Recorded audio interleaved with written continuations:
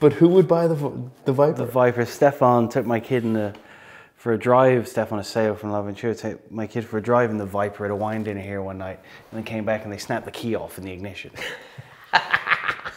That's how keen they were to get out. Oh, don't worry, man. It's- I'm telling you. It's really fast. Stefan's cruise. in the I would like to be in and around when you right have uh, when you have Stefan here at this lovely. And I, I will follow as I always do every conversation and every one. He's the, he, he has these perfect, fantastic lines about wine that he throws out there, and afterwards I just always like to say, and his hair was perfect. his hair is perfect. exactly. He he cuts it once a year. He But cuts from a it pair of old once a year. it doesn't have to be much to be perfect. He Oh, has man. hair No, dude, he's got Tom Cruise hair. It's one of those heads of hair that just it, it looks perfect all the time. and a French accent. Yeah, without a doubt, man. If I'd known the accent would be so powerful with the girls, I would have come here earlier. He said to me once. Well, that's how we got Beatrice. Like really? Beatrice is a hottie. Yeah, She's fabulous, man. But he's for me, he's our he's he's our best. He's our most Yes. most capable, shall I say? I mean, I think, and it's another one of my pet peeves is the the shackling of our winemakers by scores. Is that if if you were to set him free to do what he pleased and scores were not an issue, there'd be a different. And you too, I suspect, for a, to a degree, and all of us to a degree. There's anyone that says they're completely un, oblivious to that is is probably not telling the truth. But if you cut someone like Stefan free of any of that and say, okay, just go make what the hell you want, and every wine you make is automatically a 98 pointer, he would be making some really curious stuff, I suspect, by now. There's there's there's a problem. I mean, when I started out, I was not into the Lots press, of problems. and we did not submit samples to anybody. Imagine that. Right, know and then Billy joined the company. You know, Right. uh, Shannon my fabulous partner. Billy, who was the great sales guy, and he uh, That was politically well, well He- phrased, I'd say. he. great, you're gonna edit that one out. Make my life difficult. Am I? Um, no, but Billy Billy waited until I went to. He, he was like, "Yeah, man, we got a tasting in Florida or in Hawaii. You got to go." I was like, "Yeah, damn straight, I'm going." I wasn't even up the driveway, and he had the box packed, and he drove it up to the Spectator and dropped them all off. And a boy. And we got, you know, it, the great nightmare about the Spectator is that you're either gonna, they can either sink you or make you. You know, They can't sink you, they can only make you. you know, and uh, well, that's what I think people have discovered. But there was a huge fear in the beginning, you know. And Billy was Billy did a lot for for Paso and helping blow all up that. He got a lot of people to submit to the Spectator once once that we got some good press and it really helped us as a company. But it's a double-edged sword, you know. I mean, like all of a sudden So could everybody it be said that the was trying to cherry pick responsible us. for your yacht? Sorry, didn't you? To some You could percentage. say you could say they supplies the virgins. I mean, but that was just that was just part of the deal. So the virgins are on the yacht now. you got to do something with them after harvest, dude. Otherwise, they go away. All right. Um, no, but uh, quite honestly, you know, it, it it's good for business. Are there It other sucks- industries that are- It sucks that it's defining us, and so here's the problem, and this is what I really want to challenge It's you not with. defining us. You're right. This is this is what I want to get you into right now for a making conversation though. But it's like, you know, I've recently spent a lot of time out on the road, and you know, we all know about the status of the economy and the madness of of the whole game that is the wine business. But you know, there's this huge consolidation of distributors.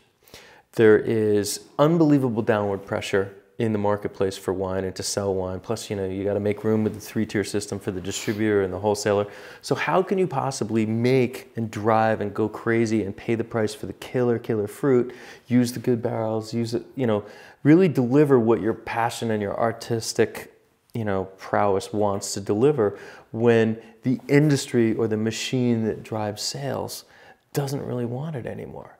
And and what I'm seeing is like, you know, the way the, the business in America is going and everything being gentrified or or commoditized the word I was using is commoditization, I guess. It's like everything is, is that a falling to that.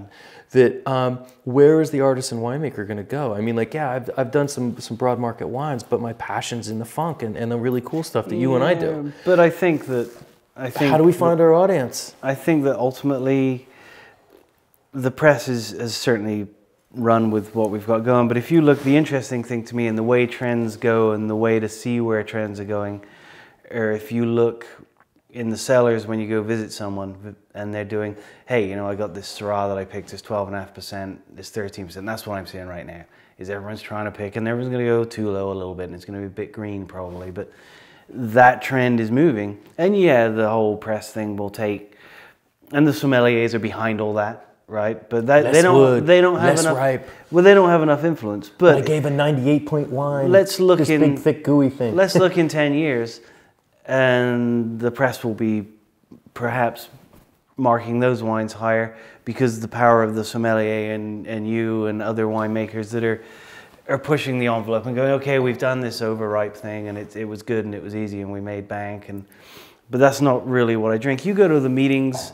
I had a friend who who went to a party the other night and he's kind of anti the Paso Robles wine scene thing because he's a snob. But he went and they were all there. All the I like 'em. all the big players were there, and he came and he was going, okay, I'm gonna go, and I'm like, well, go, and because these people are actually cool. If you're private and you're dealing with a private dinner and there's no showing off going on, it's a it's a very different scene. So he went and he came back the next day. His biggest observation was every wine that every winemaker brought there was from France and it was not what we make here, mm-hmm. Which is kind of interesting. If that's what people are taking, it, so what, what does that mean? yeah. No, uh, Where does that take us? The guys that are, are uh, some of the guys. I mean, there's some of the guys that are, are great, great winemakers, and there's some of the guys that just don't have a clue, are just making wines for, for one man essentially, right? I mean, I think we can agree on that. But the creative ones that are out there, and you and I both know who they are.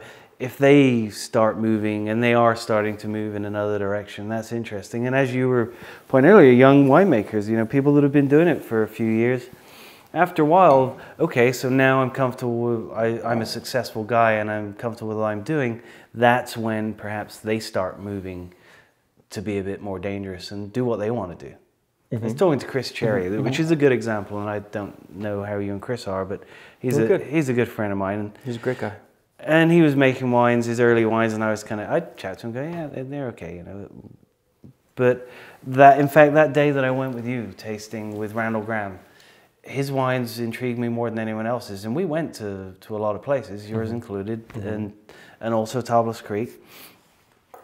But what he was doing, I found most interesting out of anything that day, just because he was pushing some envelopes. Mm-hmm. And his I brought it up to him and said, "Look, I, honestly, I think what you're doing now is actually really interesting. It's really cool." And his reply was, "Yeah, I, I'm chasing my own tail instead of somebody else's now," which was a really good way to put It's it. great to hear. And and he's doing some cool stuff over there. I mean, some of it's really funky, and he's got some issues, as we all do. Mm-hmm. But it's nice also to be able to go to a guy's cellar and and taste some of the stuff that's not so good. Which I went to his cellar one time and he took it strangely. His assistant Anthony was there and I walked in with, with a couple of other winemaker guys and he said, What do you want to taste? And I was like, I want to taste your worst barrel. And he found it really weird, but to me it's like, well, that's kind of interesting. You and I always I don't want to taste your that. super, super ripe, really good Mourvedre. I mean, I'm sure it's great. You and I always talked about that. You said to me a long time ago when we first met, you're like, let's put a group together of winemakers where we Still go around and, and this. deals with everybody. Let's deal with our crap. Let's deal with our issues and our really different. That's the interesting conversation to have, instead of at the time it was a penis contest, you know. Right. So um, I don't do well in those, really. really, Hence, I don't have a yacht full of virgins.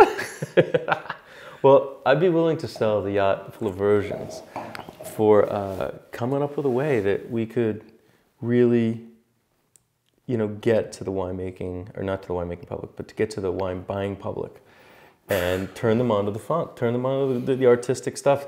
And, you know, it goes, it's anything in the artistic game. I mean, look at how artists struggle to survive, you know, and how to, you know, a painter has to die to make any money. You know, how can you turn around and find your audience and have it there? You know, we're lucky enough that Justin Smith, you know, he's Justin's made some great wines. You know, he's got a great vineyard he's working from, and it's huge for Paso that he made the number one wine in the world per the Spectator. It is. You know, it's good. It's good press for all of us. Talented but guy. it's like we don't want to be slaves to it. We just want to be allowed to do what we want to do. And The wine buying public is interesting. I had this conversation with my wife, Marcy, over lunch. We ordered a, a Vouvray with lunch, and it was slightly off dry. sick. Yeah. And it was kind of a conversation of this is great, but people that aren't really comfortable with their wine palate and knowledge won't like it because it's slightly sweet, and the perception is a serious white wine is always dry. Yes. Yeah, the wrong wine sweet is not good, and it's it's badly made, and it shouldn't be sweet. It should be bone dry. Mm-hmm. The right wine should be slightly sweet. It's the same with rosé. I don't, I don't do pi- I don't do pink. I only do big reds and really dry whites. big okay, so you haven't figured out really what you like yet. Is kind of what that is, because a pink wine in the right place at the right time is the best choice. Picnics. A slightly Fantastic. slightly sweet Vouvray with my lunch today was the perfect thing. I love it. I mean, like oysters, everybody's always dry, dry, dry, dry, dry. I love throwing Vouvray or um, some some crazy Alsatians in the mix every once in a while. You know, um, Gruners, Gruners. Some of my awesome. Shannon's going to be slightly sweet, so you'll. I'm ready. maybe a bit Bring too it, sweet Bring it. point, I, I, I do believe there might be some foie gras present at that moment It could be. Some torchon. I'm okay with that. Yeah. Um, I actually, um, through the madness of Don Hofer, am uh, intrigued. He and I are going to try to grow truffles this year in Paso Robles. You're not the first. I want to find out who else has done it and where they went wrong. Well, no one's gone wrong. You just got to wait a while. I want. That's what I hate about the wine business, man. It's one of these things. It's like you do all the shit, and your kids are the ones that are going to get it all because, like, by the time it's ready to go, we're going to be dead, or at least not. Have you pair. seen my kids? Yeah, you have seen. My kids. Your kids are going to run. It's a rock. man. thrilling process. Yeah. You raised them eclectic enough. I ran that over they're someone's fence today, like Dad, we in the cruiser. well done. Yeah, I don't know what happened. Oh, like Turley. you never ran over anything. I, I never ran over anything. Was- My record is clean and perfect. No, there is trouble in trees planted in Paso. I know there's some on the old Pesenti property. Right on. And Bring it. I, I've been wanting to plant them, I just haven't yet. I planted a lot of fruit trees over Well, you and I are supposed to be going to make Creek. gin, and I'm sure that we need another co-patriot in crime with Mr. Hofer to go and wrestle his uh, his truffle prospects into reality. So we should go Truffle and gin. Truffle a, gin there's a, there is a thought.